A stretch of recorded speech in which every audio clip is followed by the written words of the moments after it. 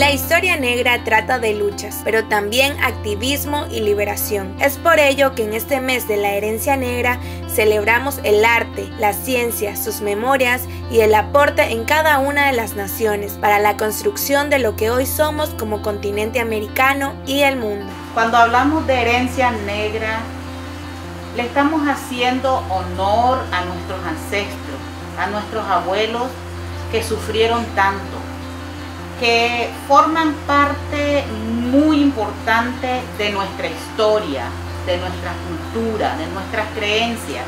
Yo estoy muy agradecida con la Universidad Huracán, con el gobierno regional, con el Consejo Regional en especial y con la Comisión Interinstitucional que ha dado vida a este mes de la herencia negra.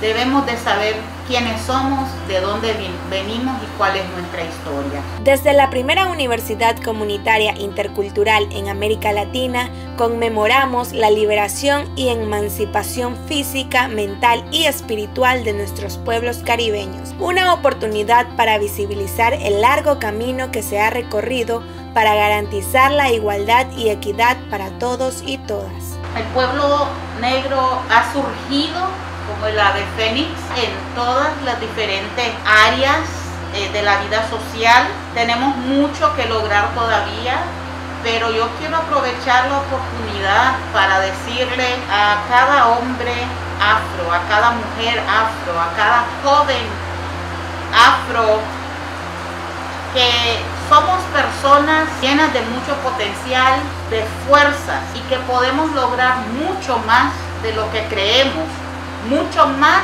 de lo que nos han hecho creer que podemos. Huracán tiene como prioridad la revitalización y visibilización de la historia, raíces y tradiciones ancestrales de las comunidades.